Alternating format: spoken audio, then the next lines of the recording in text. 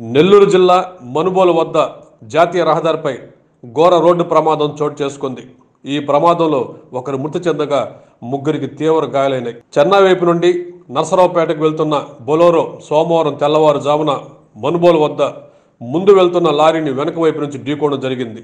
బొలోరోలో నలుగురు వ్యక్తులు ప్రయాణిస్తుండగా నరసరావుపేటకు చెందిన సత్యనారాయణ రెడ్డి అనే వ్యక్తి మృతి చెందడం జరిగింది. మరో ముగ్గురికి తీవ్ర గాయాలైనాయి.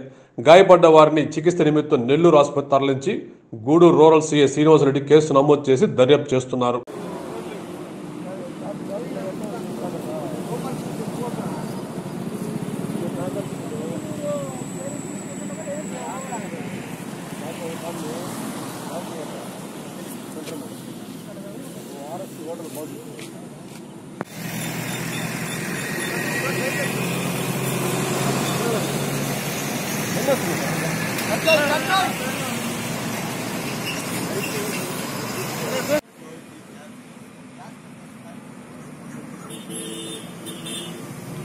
Shh.